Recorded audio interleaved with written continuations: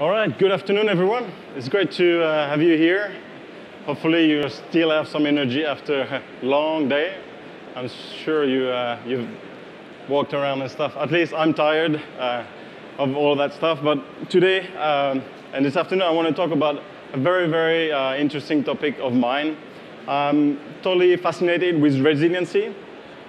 Resiliency is the idea that failure always happen and that we should build application and systems to handle failures. In fact, uh, in large-scale systems, you all build microservices nowadays. Some microservices might have 10, 20, 100 different services. It's very common when you have microservices, especially at large scale, that at any moment, some of them will fail. In fact, if you have four or five microservices, it's kind of normal to always operate uh, with all the services working, right? That's what we call full operational system. But once you go at tens or a few tens or hundreds or thousands of microservices, it's impossible, right? And we call this partial failure. Right? So we operate in partial failure. That means we still always operate, but we handle failure. And this is what we call resiliency. And I've been working on resiliency for about 10 years. Right? I joined AWS three years ago, but before that, I worked in kind of scaling and businesses and startups, and especially backend system on AWS. And in 2003, uh, in 2012, there's something very interesting that happened, and I will talk a little bit about this later. But before we go into talking about resiliency in multi-region, I want to remind you a couple of stuff. What is very important when you talk about resiliency is to understand first availability. And availability is the time your service is going to be available for your customer. Availability doesn't mean reliable. You can be available and still returning an error. So I'm just talking about availability. So availability is the time your service will be up. And very common in the industry is to say our service are four nines or three to four nines available. Uh, that means yearly, your system needs to tolerate 52 minutes of downtime. One of the big outages I had in my life, that was like six years ago, our alert system failed. Our escalation path failed. That means 26 minutes it took for us between the system was down to actually receive alerts. And in fact, it was customer telling us your system is experiencing issues. So just one outage and we already had burned half of our credits. So I just want to show you those numbers because this is the most important thing. When you build a business and when you want to make a resilient system, you need to know how often it is to be available and how often it has to go down. Actually, this also tells you that you have very, very little time. That means you're ready to automate everything, okay? But I want to drill in particular in this one. This is availabilities in series. And when you have microservices, when you build apps, very often you put them in series. And there is this equation, right? And this equation tells us that if part X of the system is 99% available, and it's in series with another system, which is 99 available, the overall availability of the system actually goes down. Right? This is availability in series. And this is something that very often we forget. There's another one that is very, very important, and actually that's the topic of this presentation. It's availability in parallel. And this equation is your best friend. Let me tell you something. If you have a system X, which is 99% available, and you put it in parallel, without doing almost any change on your application, you actually make it 4.9 available. If you make it three times in parallel, it becomes six nines available. You haven't done pretty much any change in the code. The only thing what you've done is actually deduplicating the application, making it in parallel. And this is really the first thing you need to understand when we talk about availability and resiliency. And it's also the very reason why in the cloud we always architect around regions and AZ. let me talk a little bit how we define at AWS a region. So we have in AWS about 18 regions worldwide. A region is actually a set of availability zones. Now it's a common mistake to think in one availability zone, there's one data center. There's not. There's one to many. It's actually some of the biggest regions can have up to five data center per availability zones, right?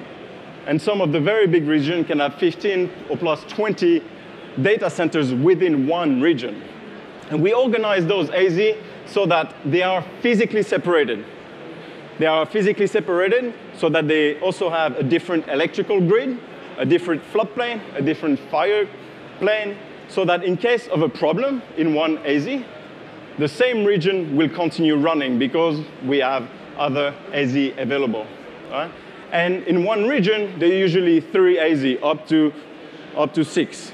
Okay? So when you open an AWS account and you select a region, you are given a set of availability zone on where you should deploy an application. And this is also the reason why we always, always tell our customers to architect their solution across multi-AZ. Actually, the first thing you should do when you have an application is really deploy it so that it works across multiple availability zones. When you do this, there's few requirements that you need on the application. One of the most important requirements is that your application is stateless, right? So that if an application is treated with one AZ, the other request can take and continue the job, right? So they share the states between different AZs. So that means your application does not store the state locally, it stores the state within the region. And that's really the first level of designing an application which is highly available and resilient in the cloud. How many of you are already doing this today? Right, so a lot of you. Now there's the next level. And the next level is doing multi-region. And this is really the topic of this presentation. And you might be wondering, why do we do multi-region? There's few reasons, and we'll go through them later. But what is very important here is to understand that even if you go multi-region, there's a lot of work to do. Usually you need a DNS, uh, a DNS with a CNAME, and then a policy which will distribute traffic between different regions. Uh, so what you did is you just took an application in one region and copy-pasted and duplicated inside the second region. Okay, so that's what we're going to talk about today. And we have about 18 different regions. So when you want to do a multi-region, you can really almost architect your application across 18 different regions. I'm not going to demo that today. Today, I will demo you across two regions. And we have 18 regions with 55 availability zones. So that gives you a lot, a lot of places where you want to deploy your application. So why would we want to build multi-region backend? Well, the first region, or the first important thing is to understand latency. I'm sure you all have heard the word latency. Latency is the time it takes for a packet to go from one place to another, okay? And this latency in electrical fibers or in optical fibers is actually bound by the speed of light. And the speed of light, no one yet has hacked it. Right? So when you take a region and you want to deploy services, for example, in Europe, and you have users in US, your users will automatically have a latency of about 140 milliseconds per direction. So that means a round trip will be 300 milliseconds.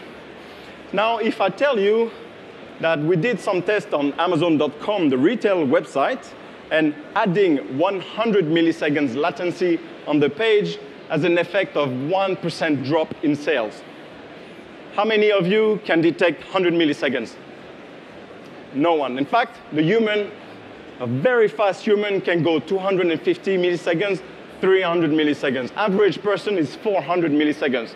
But that means your unconscious mind will detect 100 milliseconds, and you feel naturally the feeling, or you will have the feeling that the application is not responsive, is not fast, and you'll just get bored and move on. And 100 milliseconds is not something you can do by feelings. It's something you detect by test and data. And trust me, at the scale of Amazon, 1% drop in sales is a lot of money. Okay? So 100 milliseconds is a lot. So when you deploy your application globally, that's one of the most important reasons. It's actually 10 years ago, it was very common for application for companies to have local applications, right? It was not common to have a global reach. Nowadays, when you launch an application or when you launch an app, you want to reach almost the global market. When you put your application on the, in iPhone or Android or uh, Windows Phone, they have a marketplace, and users from pretty much all over the world can download that. And you don't want your user to experience 600 milliseconds latency if your users are in Australia and you are in Europe, right? So there's an incentive to really start deploying application across the world. So this is one of the most common reasons why people start to have multi-region systems. Another very important one is disaster recovery. Disaster recovery, that means you have a primary region. And the other one is passive. And we call that setup active passive. So that means one region takes all the traffic, and the other one, in case of a failures in a service in one region, will actually generate a switch of traffic to the other region, okay? So the passive regions all of a sudden become active. And this we call disaster recovery, and some customers have done that for a long time. Now the problem with such a setup, it takes a long time to actually move the traffic from one active to one passive. And especially, it takes a long time to warm up this region. And the problem with passive is very often the cache, the queue, the messaging, all the systems that you need to operate in a very large scale will have to warm up. And when they warm up, you have a possibility to, possibility to have a very big outage because it's something that is not tested very often. So going from the uh, uh, uh, passive to active has a potential for a big outage, simply because this is not practiced often. So what we want is really to have a system where pretty much both regions are working at the same time, and we just have to switch traffic from one to another and then scale the other one to handle the traffic here. And this is what we call active-active. And back in the day, having an active-active architecture was very, very difficult. Okay, and I'll explain you why. In 2012, actually, Eve Christmas of 2012, Netflix experienced an outage, and it, the service of Netflix went down for a few hours. And the problem here is Netflix was not responsible. In, fact, in, in fact Netflix, Netflix is on AWS, 100% using AWS for the service, and they've been doing that for a long time. But on the eve of Christmas 2012, one of the load balancer in the region, US East 1, experienced some issues. And it created a cascading effect that took the service down for a few hours. And Netflix couldn't do anything because the load balancer were Amazon or AWS responsibility. We've now fixed all the issues, but at that time, Netflix thought that this can't be. Because if you are competing with the normal broadcast, people open the TV and it works, right? So Netflix want the same experience for the user. They don't want to say, oh, it's over the internet, we can be down a few hours and that's it. They want that every time you actually play a movie on Netflix, it will work. So they decided in 2013 to do the first multi-region active-active system. And back in the day, it was very, very difficult. There was no managed services, so they had to do a lot of engineering work, like replicating databases, replicating bin logs synchronously between regions, maintaining connections between regions, and all that over the internet. And when you do this over the internet, you are at the mercy of change of traffic patterns. Latency change is not consistent, so it was really a big engineering work and took a big team of uh, engineers and few months to be able to achieve that. And they haven't stopped there. In fact, in 2016, they opened services in Europe, right? And now many of you are probably consuming Netflix, right?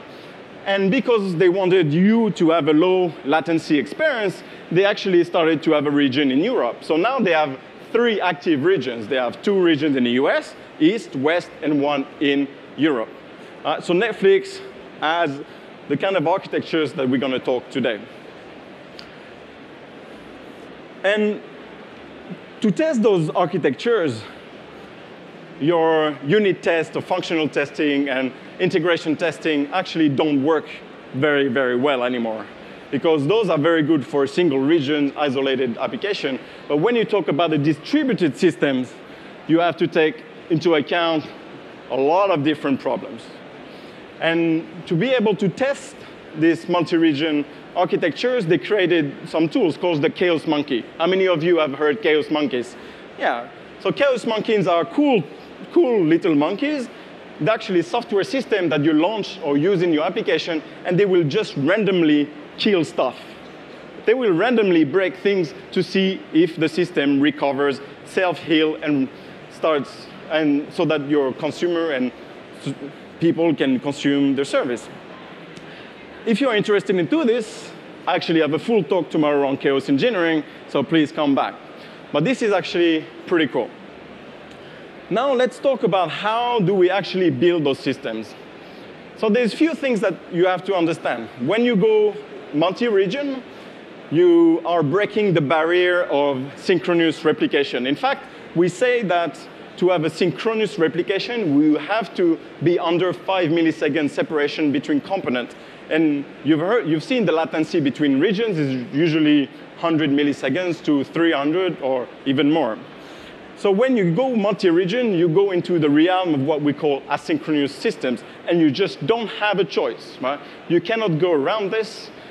You have to handle asynchronous systems. Now, it doesn't mean that the entire system needs to be asynchronous, but it means most of your operation will have to be asynchronous. Because if you have to be synchronous, you usually have locking systems, right? And when you go asynchronous, you enter what we call the realm of the CAP theorem. How many of you know the CAP theorem? Uh, if you go into software engineering, it's very often a problem that comes into mind.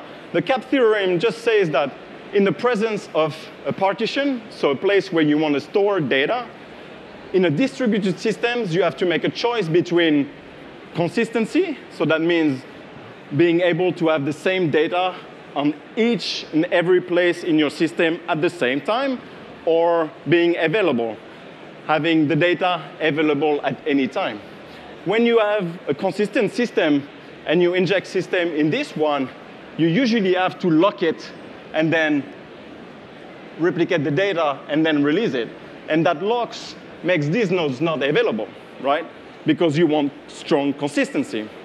But in a distributed system, usually 90% of the time, or even more, we want to be highly available. So that means you want to be able to write in a node here, in this node here, and here at the same time. And you want to be able to read at the same time, regardless of the consistency. And when you do this, all of a sudden, you make another very important decision. It's called eventual consistency. And eventual consistency means that at any given time in your system, you might have different version of the same data in every node. So for example, if I have a value of A and I put 2 on it, after a certain moment of time, maybe 10 seconds, or a bit less, let's say 100 milliseconds, I'm gonna have A equal to in all the nodes, okay? Now, let's say I make an update on A. I make an update on A, and I give A equal 5. Imagine I read A here right after I put B, uh, A5 here. Well, it might return actually the previous value because maybe the replication hasn't happened, right? And we call this eventual consistency. It means that after a particular certain amount of time, all the nodes will have that value. That also means that when you design UI and application, you need to have this in mind. Uh, you cannot expect all your user experience and your UI to be strongly consistent. And this is one of the biggest problems in applications that want to handle multi-region systems. So embrace eventual consistency. Now, when you want to do replication across multi-region, there's something very important to do you notice Netflix took many years to be, or many months to design their architectures, right? That's because the traffic back in the days was going from one region to another across the internet. And this is something that was a problem both for Netflix and actually for us. When we deploy services, when we deploy region, when we maintain services, we actually use a lot of cross-region uh, deployments. And in 2016, to be able to uh, control this latency between different regions, we actually built a full global network of our own fibers, okay? And it's a network that actually links all the region together through direct connection. Actually, dual 200, uh, the dual 100 gigs network circle around all our region. So that now, if you want to send traffic between one region to another, it's actually not over the internet, but over our network. It's encrypted, and it's especially going through a system where we control the latency, we can control the error rate, and we can make it as performant as we want.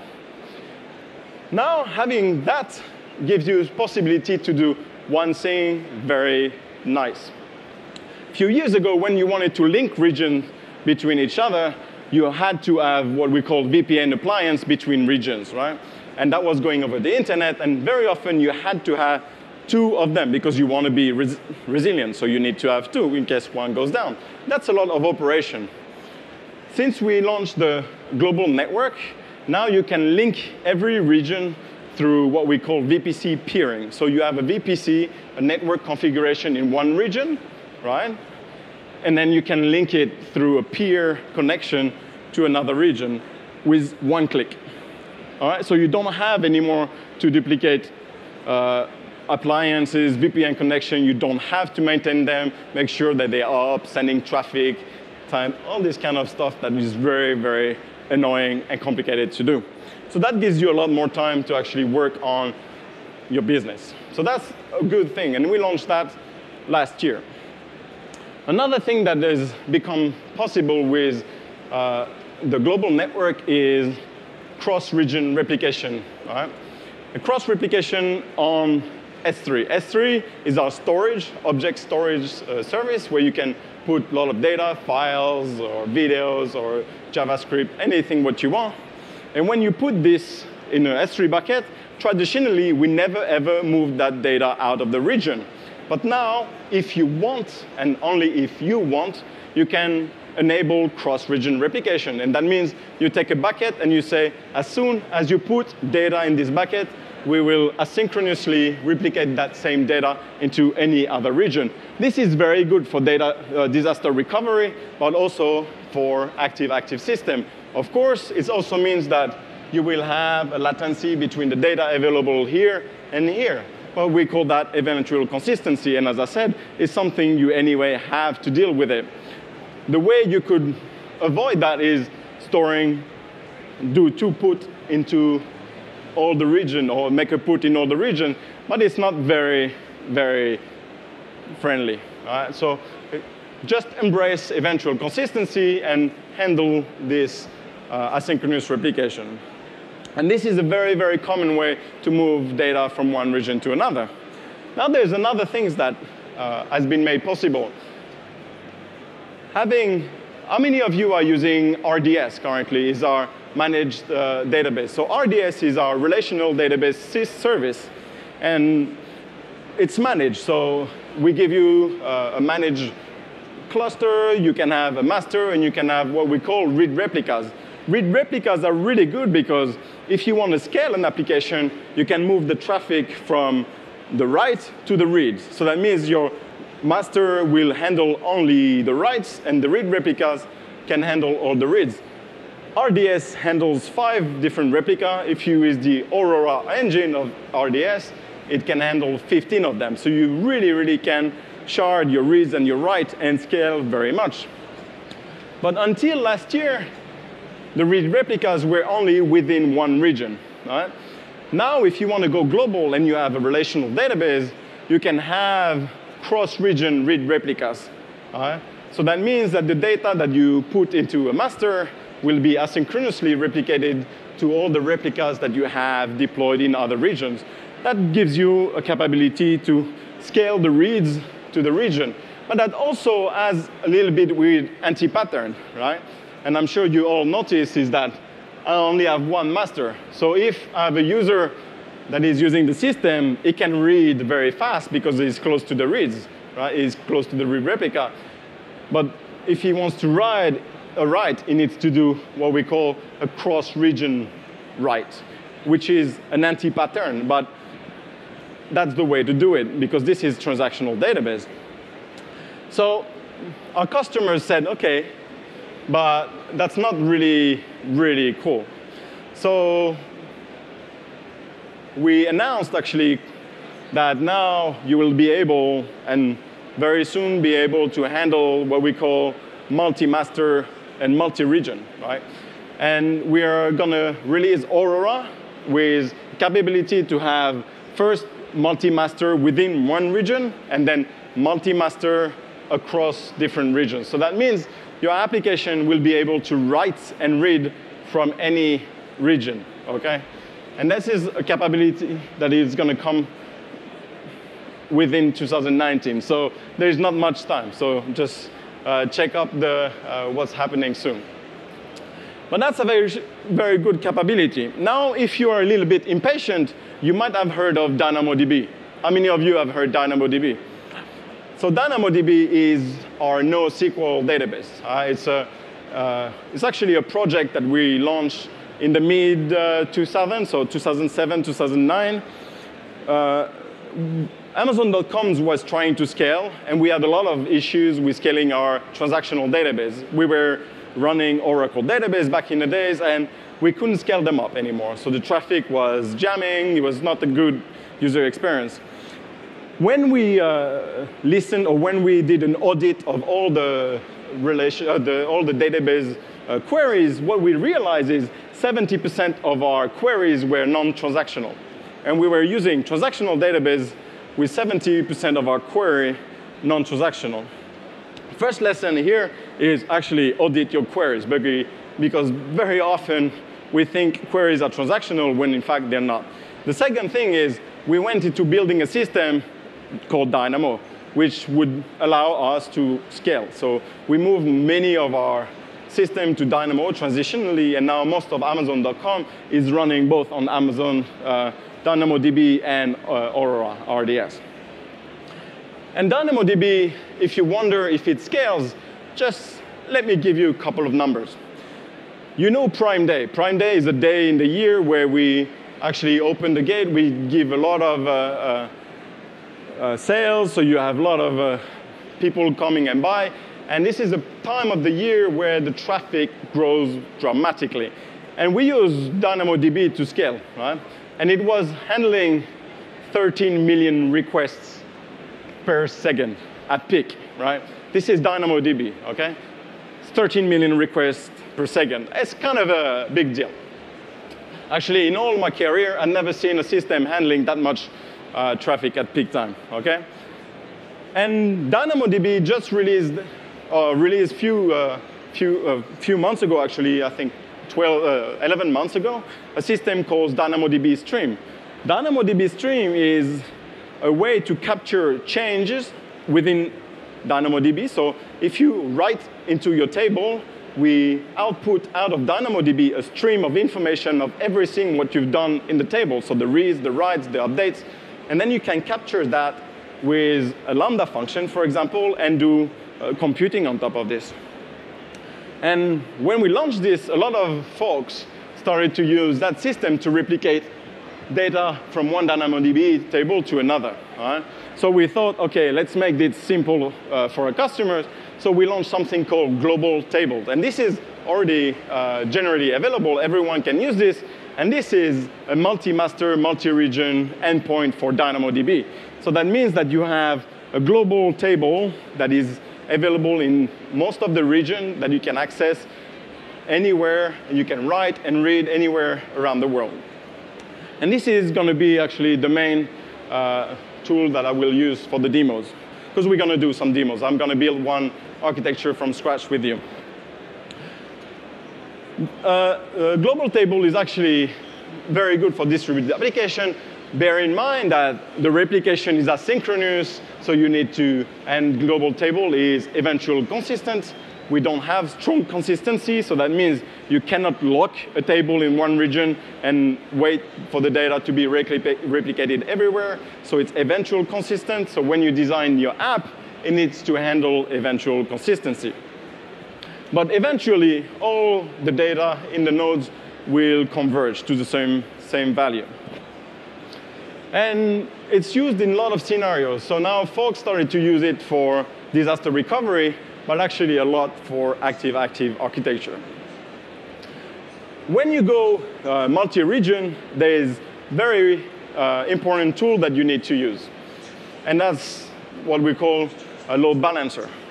Uh, but you don't want to load balance within one region. You want to load balance within multiple regions. So we have to balance the traffic on the DNS level. Right? So you have a DNS request, and then we move the traffic from one region to another. And to do this, you need to have what we call routing, or routing policies. Sorry, my French accent. When you have routing policies, you have a few scenarios. One is called latency-based routing. And this is what we call, like, it's going to prioritize for the lowest possible latency. So that means if I have resources in one region or another, we're always going to send the traffic to the lowest latency or the, to, for that particular user. So if I'm a user in the US and the region is in the US, here is going to go there. If I have another region in Europe, the latency is going to be around 130 milliseconds, so we're not going to send the traffic there. But it's only latency based. And latency can change, right?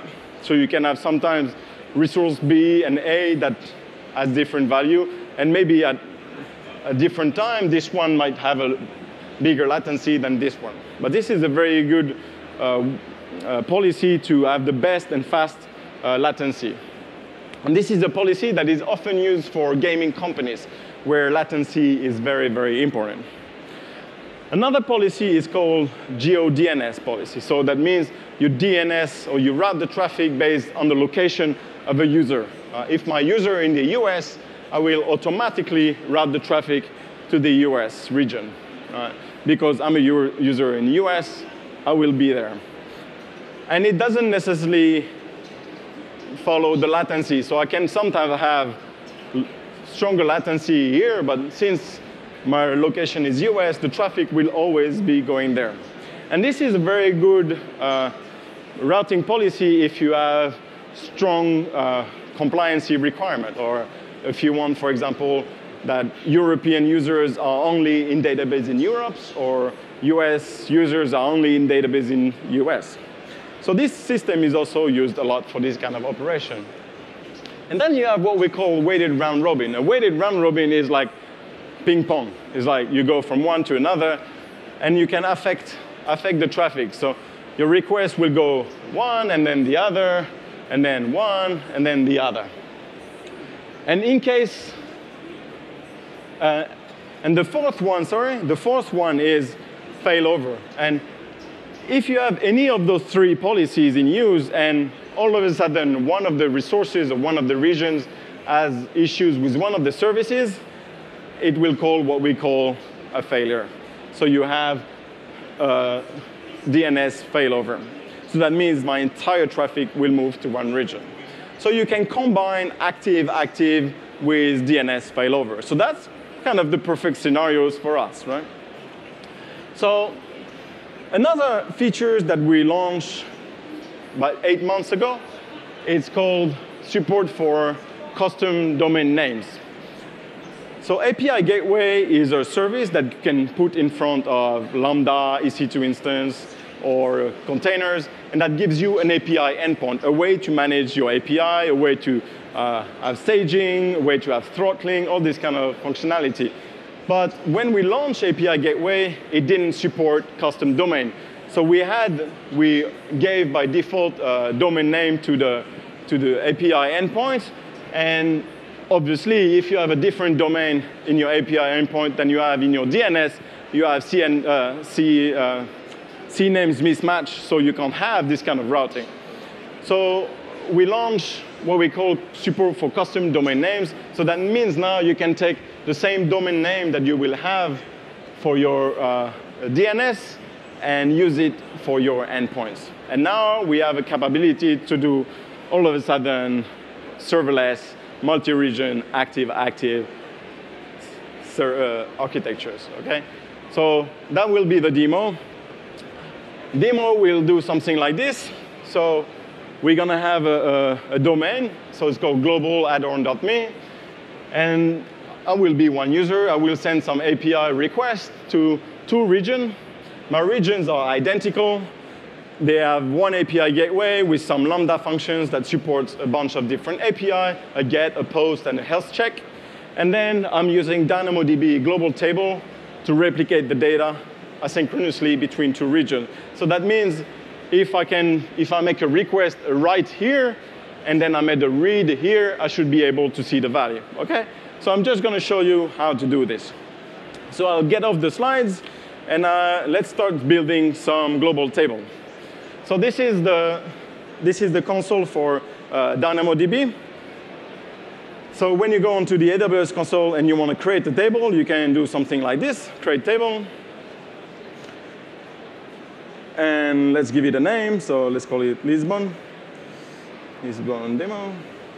And let's give it a partition key. So let's call this item ID.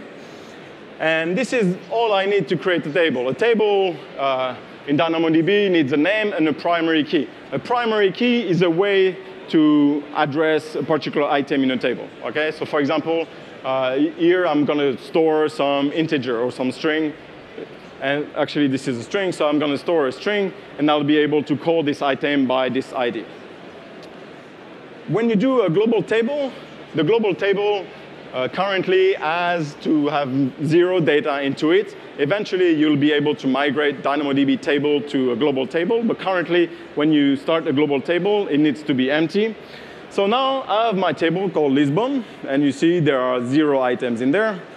And if you go into the console, there's this little uh, tab here called Global Table. And when you uh, click on it, you see that actually that message. And this is the stream, the DynamoDB streams that I talked about, which is actually the service that take a, a particular uh, event on the database and replicate this in a stream that is outputting outside the database. So when you want to use uh, global tables, you need to enable streams. So let's enable stream enable stream will take the new object and the old object, so you have all the information. And now I can start creating what we call a global table. And I can start to add regions to it. So when you do this, you just select the region in where you want to have uh, the replica, so the DynamoDB replica. Here uh, we have created the region in Oregon, so let's uh, have another region, let's say in uh, Virginia. And then I can proceed and that's it. So now my table is being replicated into another region. And that's pretty much it. It takes a couple of seconds, and then I can start operating to it. And when you do this, uh, by default, you get five read capacity and five uh, write capacity. But actually, you can enable auto-scaling if you want and have that uh, automatically scale up on your traffic. Now, you can see I can go on the table there, and now I, uh, I have my table here called Lisbon demo, and this is in Oregon, and then I will have a Lisbon demo in Virginia. Okay, so now my table my, is global between two regions. If you want, you could definitely add more, uh, uh, more region. Actually, you can add all the regions, and you can support pretty, uh, pretty much all that. Now, when you add a region, you have to bear in mind that you also augment the number of write and read. So it will be more costly, okay? So only add region into the regions that you really need. So let's, uh, let's test that. So I have two uh, tables in, uh, in two regions, one Oregon. So now I can start to add items.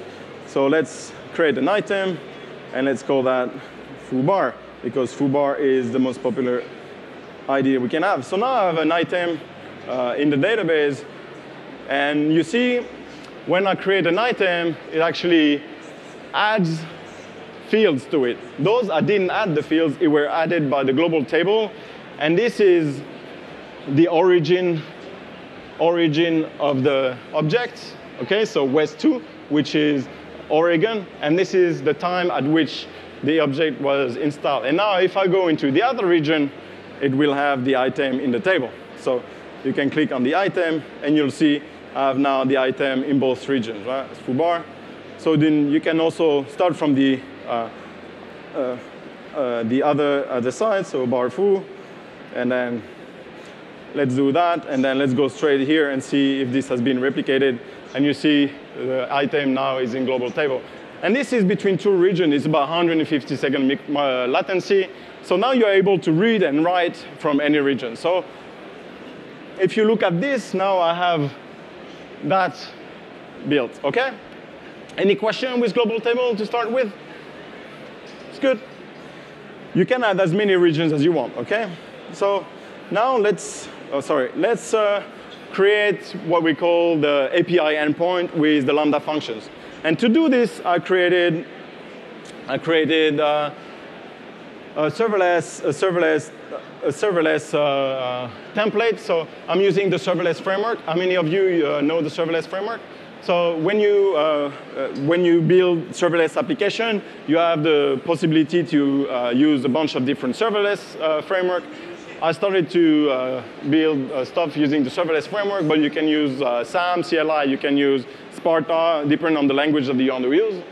And serverless templates, you define your API using templates. Right? It's a, a template that is built in YAML, and you I have the name of the service on top. It's called blog version 2. I can uh, see the provider here. Uh, serverless supports different clouds. So you, for this demo, we do AWS. Then I can define the, the security groups that I want, the memory, uh, the environment. And you see here, I'm using uh, variables like this. So that means I'm taking uh, environment variables from a file, and my file is this one and I have a value called status, okay? So basically, I deploy uh, an environment with some environment variable called 200. Then I can have a lot of uh, stuff. So this is the resources that I want uh, and give it uh, some security and roles, define some actions. But the most important here is this function. So I have three functions which are going to be deploying Lambda. Lambda is a serverless function that you allows you to run uh, code, just the function. You don't have to deploy the entire instance or anything. You just give it a function and it will run it. I have uh, three functions, one called get, another one called post, and another one called health. This is to store data in the DynamoDB. This is, uh, this is to store data into DynamoDB. This is to get this uh, item that I store. And this is to check a health.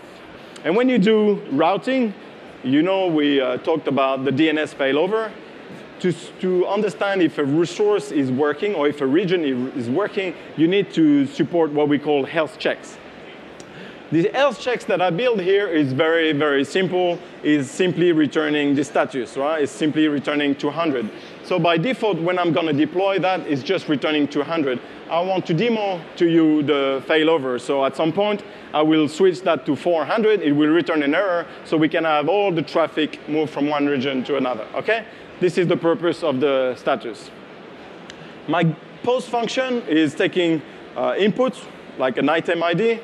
Here, it has also a body, uh, takes the item ID and extracts the uh, session comment and the item ID from uh, the body of the message, and then stores this into uh, DynamoDB. So my, I put the items and when uh, item ID and then session comment into my global table. I have another then get item. A get item takes the ID that I want to retrieve and then extracts this from Dynamo. So table, get item. And you can, you can set up your DynamoDB table uh, like this, your resource, This is just a hack, right? It's not necessarily production code. It's just to give you an idea of how this works. So I have now uh, a get, a post, and a health. And then I can deploy this in two regions. So you see I'm supporting uh, US 1 and US 2. So when I do uh, my serverless queries, when I go there, so for example, let me go into my project.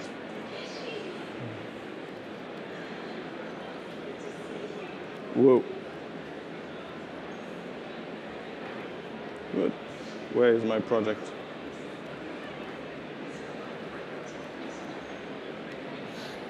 Here, so what I can do, I can do something called uh, a query is called serverless deploy, and I can define in which region I want my template to be deployed. So just for the sake of it, let's do uh, deploy US East. So what it does, it takes the templates, takes the Lambda functions, and then start deploying the Lambda function in one region. Uh, here, the US East. And you see this template is just taking this, is going through all that, take, packaging this, and then uh, packaging all the Lambda function into, uh, into a package, and then deploying this uh, to uh, Lambda. So when this is done, then uh, this gives me basically an endpoint like this. and I can start doing something called, uh, let's do an HTTP. Do you see in the background? No. So you can do something like this. And then I'll give, oh, what did I do? Oh. It's the wrong endpoint.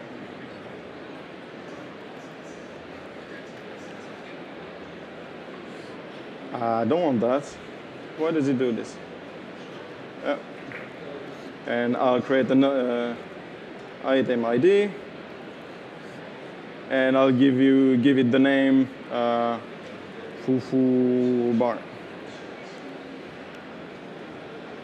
And what it does is now it's taken my object and actually store that into my table. So if I go inside my global two table, I have an item now called Fufu bar. And this was just deployed now. Uh, so that means my deployment uh, has worked, okay? And just to show you, because I changed the name of the table, is in this demo, I'm just using a table called global 2, okay? So then I can do the same into the other region. I can do SLS deploy and do this into US 2 and then I'll have endpoints in both regions, right? So let's uh, leave it uh, do that. So I want to show you basically what has been deployed. So I have, this is my, uh, uh my Lambda uh, service in AWS in the console. So you can see I have, uh, I have a bunch of Lambda functions here. And then I, can, I can sort them. So I have a bunch of uh, of services. The ones I'm interested in is my services called Blog V2. Right? That's the name of the service that uh, was in the template. So you remember, uh, you remember the template here, Blog V2. This is the name of our service. So all my functions will have uh, Blog V2 and then the name of the function. And then I have the functions here. So you can start uh, seeing the functions. And what it does is shows me that my function is actually linked to API gateway. This is good because I give it an endpoint in the, inside this template, and then it supports uh, X-Ray, CloudWatch, DynamoDB, and also EC2. So there's a lot of stuff that I've been enabled, but what is most important is you remember this uh, status environment variable, right? So you see my environment variable has been deployed. So that now means that uh, this function will return 200, okay? So when I will uh, probe that through an health check, it will always return 200. I can change that value a bit later, but first I want that to return 200. So I have all my Lambda functions that have been deployed. So you see uh, this now has been deployed into another API. It's called RCP, okay? And then this one is 3VOX. Okay, so now I have a system that is, uh, that is like this. Let me show you the slide so that you have it. Uh, this is my DynamoDB global table. So now I have something like this, okay? and the API gateway. This is now what we have. We have deployed the API gateway with the Lambda functions in both regions. And you can go and check actually in the console also that your API gateway is uh, correctly deployed. So here's my API gateway, and you see I have my dev block 2 API that is being deployed in Oregon, and I also have another one that is in Virginia. So if I go in Virginia, you'll be able to see the same API endpoint there. Okay. So here I have my API gateway there, and you see my API gateway supports the path that I've designed. So create, uh, this is the post function. It has the get to get the item, and the health, which is also a get. So now I have both systems deploy uh, globally. So this is uh, what we have. But now that's not enough, okay? So what we need is really uh, to have a routing policy between different systems. So now let's, uh, let's uh, back up. So I have a, a domain name. This is my, uh, this is my own uh, addon.me. And what I do, uh, what I did there, I created a CNAME called uh, global, up, uh, global addon.me. You see, when you look at it, it's actually, I've defined uh, an endpoint called global-addon.me, and what it uses is uses a traffic policy. All right? And my traffic policy is called globe blood. All right, so let's go and have a look what that is. And we saw the traffic policy is what it does uh, to route or to balance traffic between regions. So you had the weighted round robin, you had the latency-based routing, or you had the uh, geolocation-based routing. So here, what I've done is I created what we call a weighted round robin policy. So I have uh, two weights of 50. Do you see in the end of the room? It's good? So I have two weights. So that means I will balance the load between the two regions, 50% and 50%. And I'm adding health checks, OK? And the health check will target the lambda function that returns 200, OK? This to uh, policy, they go and target two endpoints. And the endpoints with value called D and D. And this is, OK, this is not the endpoint that we had for uh, uh, API gateway. And you're right. Actually, when you uh, deploy API gateway, uh, you see it has, it has an API that is very different than what we had, what we have in this target, right? And this is because you're here using the normal CNAME of the API gateway, but we want to use a custom domain. So when you are in API gateway and you want to go global, you need to use what we call custom domain. And here you see I imported my certificate addon.me and with the CNAME global, and I assigned this to my API gateway. Okay, so now my API gateway, you can see the path what it takes, it takes my API gateway, and then I can start routing traffic with the right uh, uh, CNAME. So that means now I can really have a policy to, uh, between that target, this is the target domain name in one region and the other. And this is, the target name is the one that you use in the routing policies, okay? So when Route 53 will route traffic, it will route traffic to the different target names. Okay? So now I have the system pretty much ready, right? So let's have a look at the health check. Because now my health check is supposedly returning to 100. So when you create, uh, sorry, when you create a health check, let's create one from scratch so that you know, uh, you know a little bit what it is. You give it a name. So for example, uh, test. You define what it is. And here you can give it a cost, uh, domain name, OK? And when you do a domain name, you can see also advanced configuration, and this is what I want to show you. You can have request on your health check every 30 seconds or every 10 seconds, okay? The most important is what we call failure threshold. A failure threshold is the number of time my health check will have to return uh, error to believe that this is actually down, okay? And this is done to avoid uh, intermittent errors.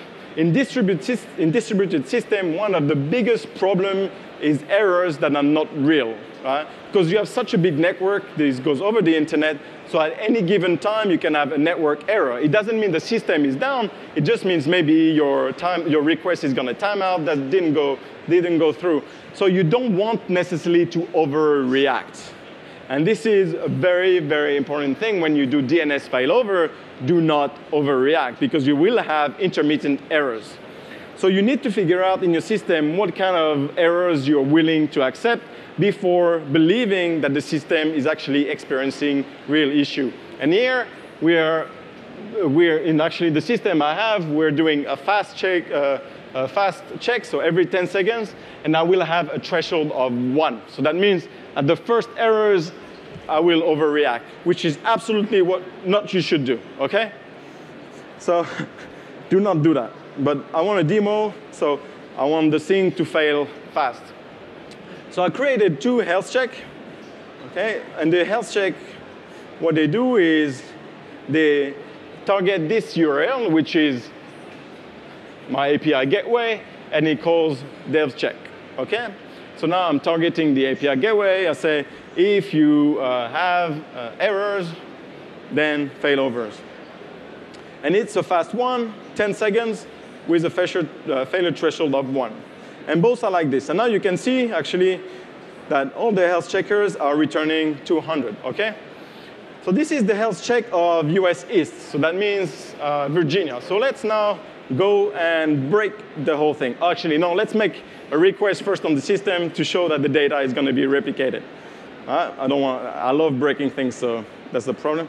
So let's first actually uh, create a tab. And then let's send some data into, into that. So uh, what I'm doing here, um, I'm doing a for loop between 0 and 70, and for each of the i between 0 and 70, I create an item called foobar.012345667, okay? So I'm gonna post a lot of data there, and there it is. What I'm doing is I'm gonna create another tab as well, and I'll explain you why.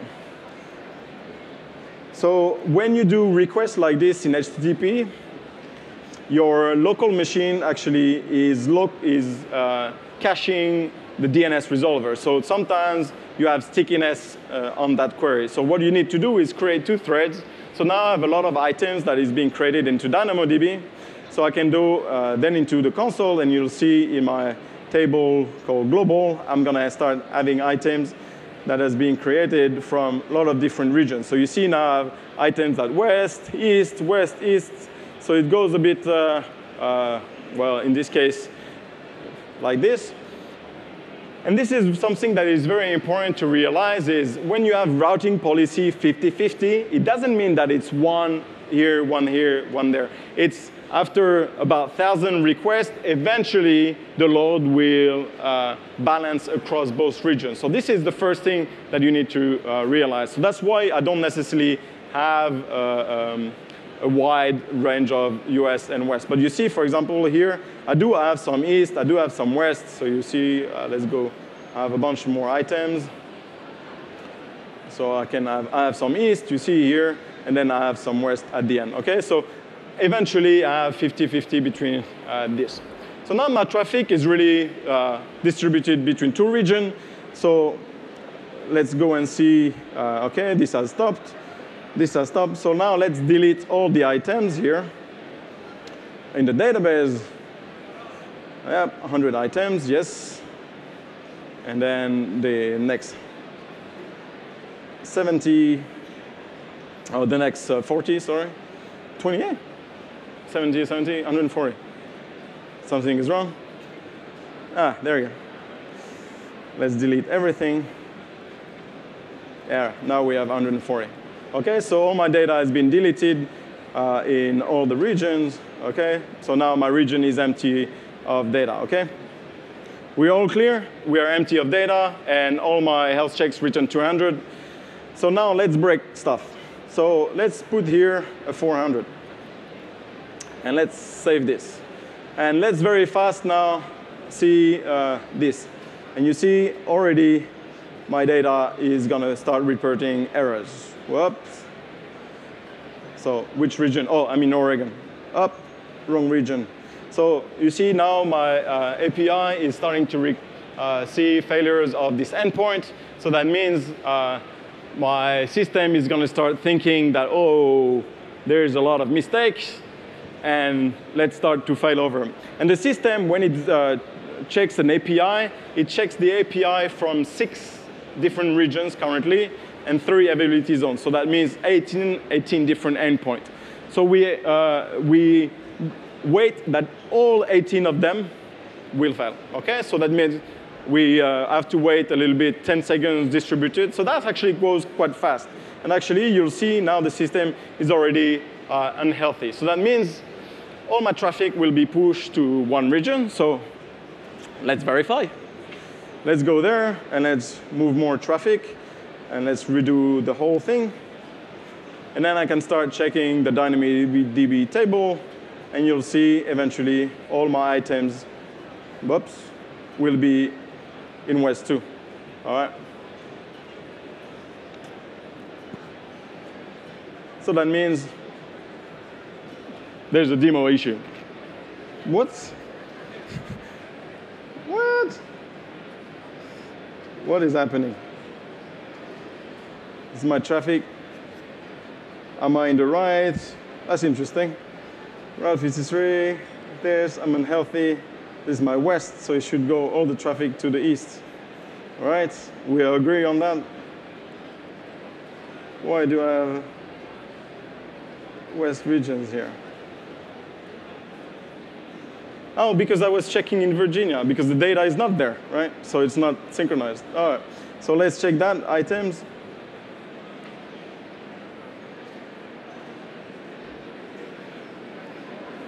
What the hell is happening? My demo has some issues. All right, let's, let's check this out. So let's go into the code. I have global table here. I have this. It's deployed. Let's check my health check. That's interesting. West is deployed 200, 200. Which Lambda function? Did I have the right Lambda functions here? Yes. Let's go into the east.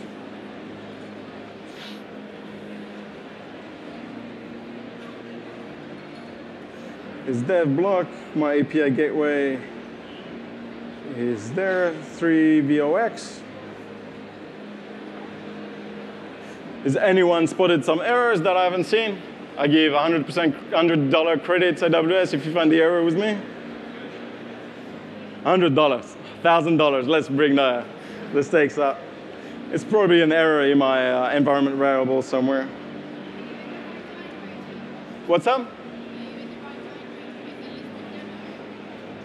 Sorry, I don't, what's that? Yeah, let's reload that just to see. Because the DynamoDB, uh, yeah, it's, it's reloading the right ish, the right stuff. So, okay, let's delete all the items here and see what's happening why. Actually, let's go in Lambda here and see that my code really has the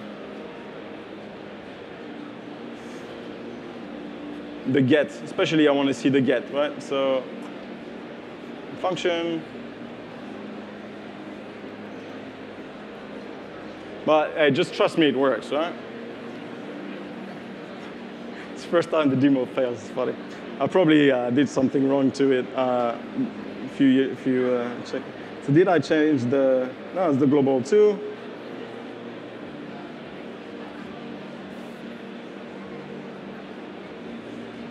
Thousand dollars, guys, tell you. Come up with the right thing. What's up? Do you have a microphone? Right. Ah, there's smart. Did I have the right, the wrong health checks here on my traffic policies?